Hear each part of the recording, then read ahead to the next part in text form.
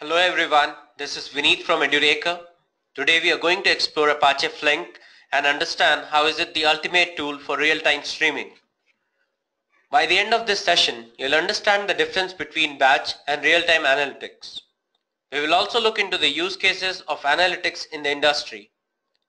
Moving forward, we will explore the most popular real-time analytics tool that is Spark and we will also look into the answer of the common question that is, why do we need Apache Flink when Spark is there? To answer this, we will look into two case studies that is first how Bouygues Telecom used Apache Flink to provide the best customer satisfaction and second, we will understand the results of extended Yahoo streaming benchmark which was a project done to evaluate various real-time streaming tools in the industry. Post this, we will see some companies using Apache Flink and finally, we will understand the architecture underlying Apache Flink. Interesting, isn't it? Moving on. Let's see, why do we need analytics in the first place? The simple answer is that people want business insights from their data. They want to know how a particular result came, discover the relationships in the data they are getting, and ultimately they would like to predict what can be the future results looking at the past and current data? I'm sure you can relate to this as you too have this expectation. Analytics is the discovery, interpretation and communication of meaningful patterns in data. Peter from Gartner Research rightly said, information is the oil of 21st century and analytics is the combustion engine. Don't you agree? I'm sure you do. Now, if we try to categorize analytics on the basis of input data, we discover two types. First, the batch analytics and second, the real-time analytics. In batch analytics, data is collected over a period of time. It could be an hour, a day, a week or even years. Now as per the requirement at a later point of time, analytics is performed on this collected data to bring out insights like trends. On the other hand, in real-time analytics, we have immediate data coming in micro or nanoseconds on which analytics is performed to get instant results. For example, there is a past data stored in a bank. Now the bank manager wants to analyze the number of checks which failed to process in the last month. This process of finding the count of failed checks is based on batch analytics.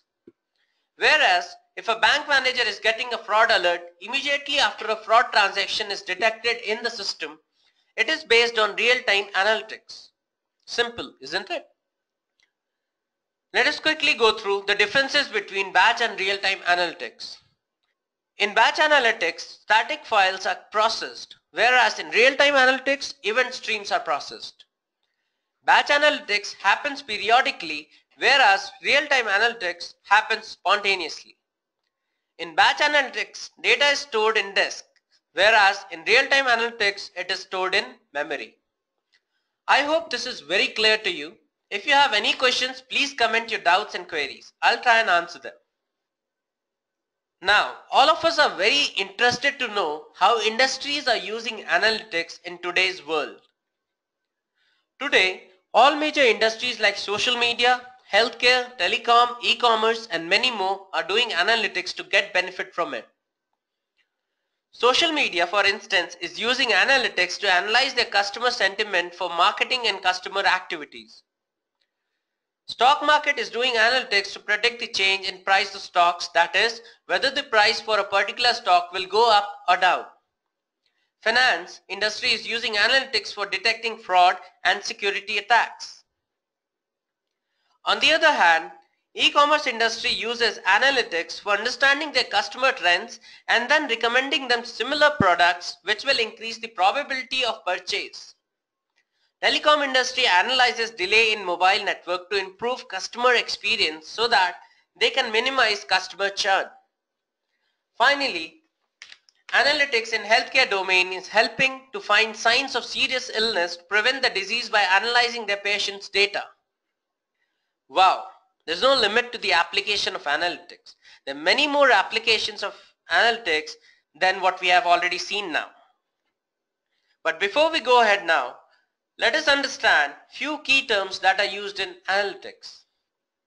The very first one is at least once guarantee. At least once guarantee means a message is delivered to the receiver at least once. There can be a situation where sender sends a message and the message is received by the receiver. However, the receiver did not acknowledge back to the sender. In this case, the sender thinks that receiver did not receive the message and sends the message again. The sender will keep on sending the message till it receives an acknowledgement from the receiver.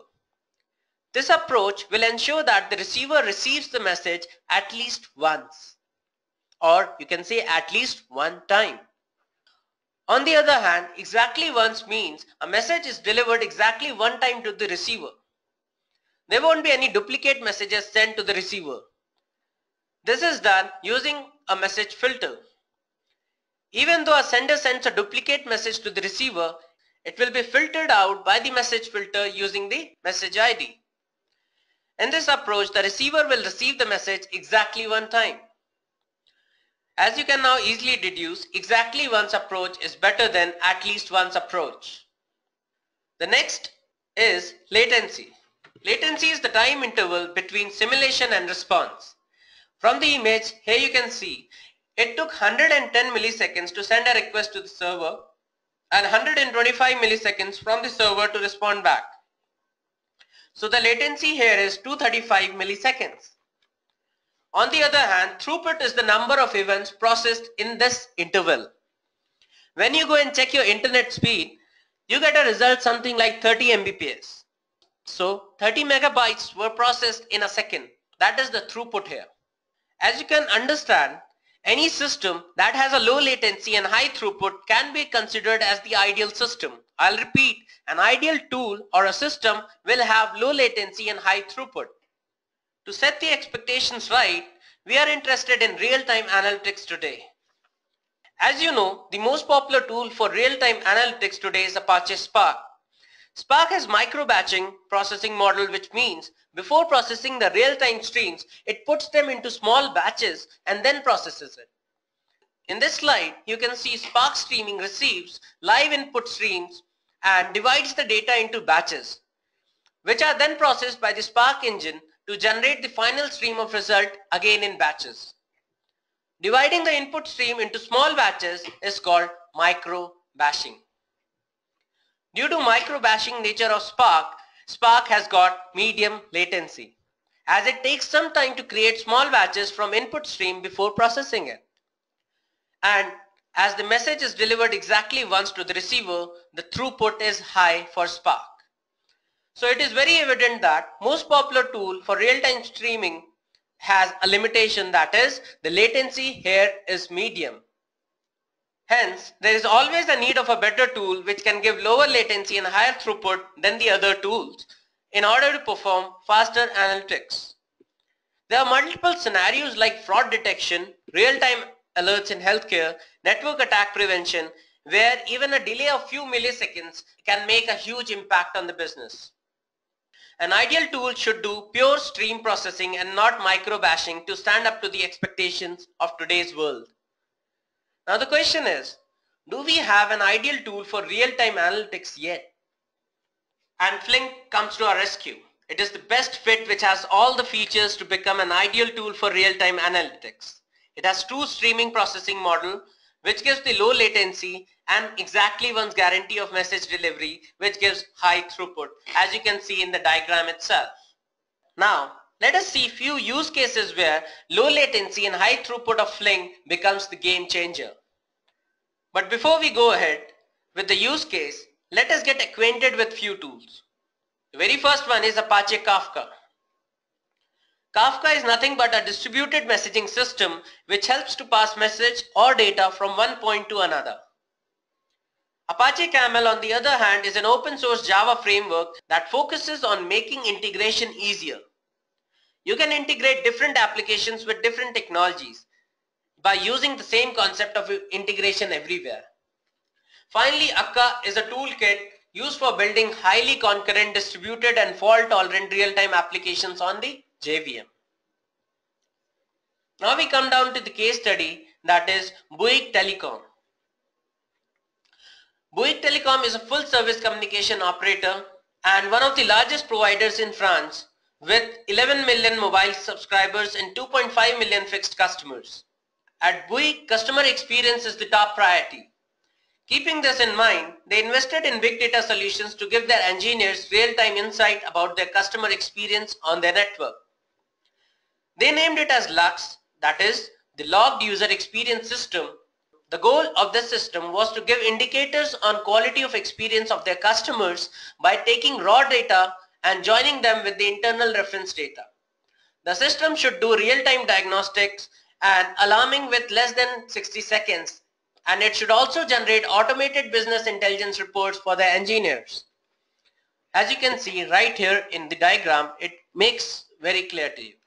Now let us understand the high level Lux flow diagram. Data is collected from different sources.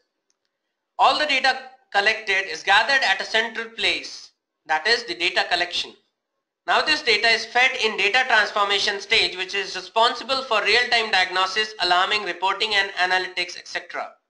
Finally, the result goes to the end users.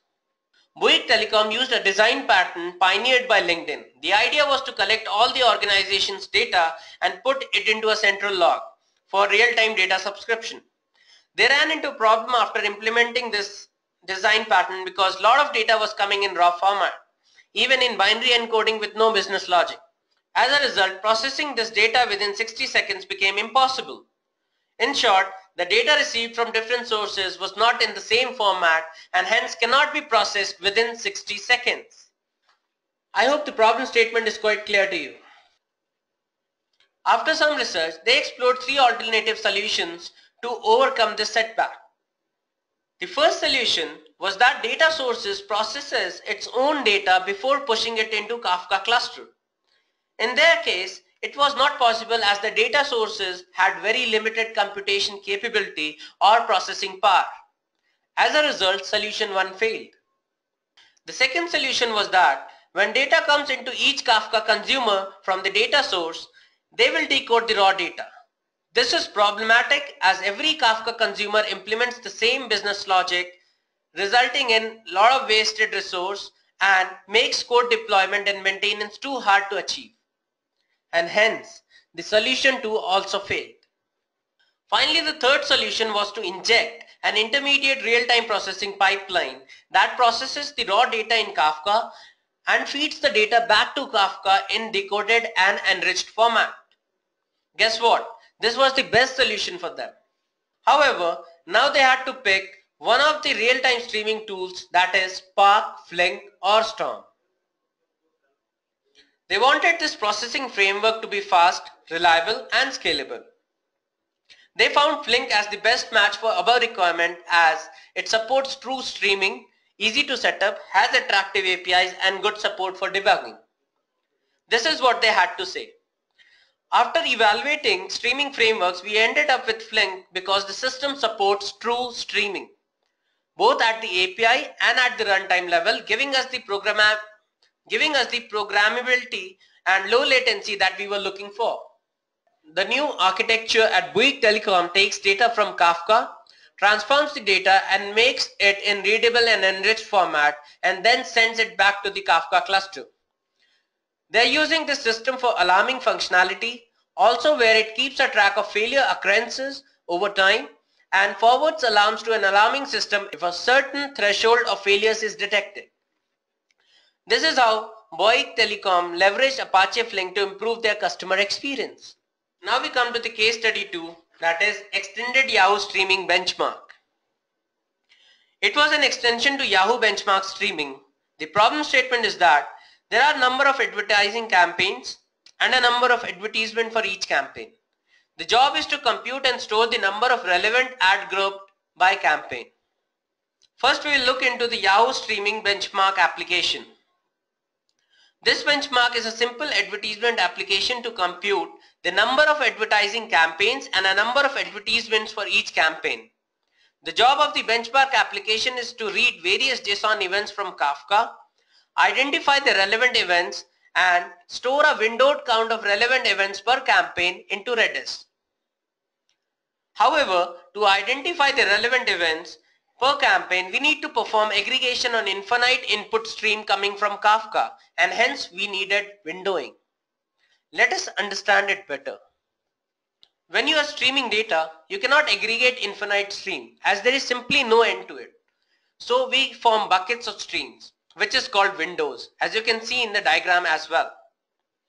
Using windows, the real-time engine knows the fixed chunk of data on which it has to perform aggregation. You can go in depth of aggregation using windows, however, we will drift away from today's agenda and hence, for now just remember, for aggregation of infinite streams, one needs windowing. Let's get back to the Yahoo Streaming Benchmark application. Here is the operational flow of Yahoo Benchmark application. JSON events are read from Kafka cluster. JSON string is then passed and irrelevant events are filtered out based on the event type. The only event that will be passed will be of event type view. As you can see, the JSON events are parsed, they are filtered and only those events are passed which is of event type equals to view. Now we can take a projection of relevant fields that is ad ID and event ID, ad ID and event time. Each event is joined with its associated campaign ID using ad ID as its primary key. The ad ID and campaign ID mapping is already stored in Redis and is referenced from there as you can see in the diagram as well. Now the event stream has three fields, ad ID, campaign ID and event time. A window of 10 seconds is used in the flow. Events can be grouped under each window on the basis of its event time. All the events in a window will be processed together that is aggregation or count of events per campaign is performed on this window and finally stored in the Redis server along with a timestamp. This was the overall workflow. All the three real-time tools namely Storm, Spark and Flink were tested on this workflow.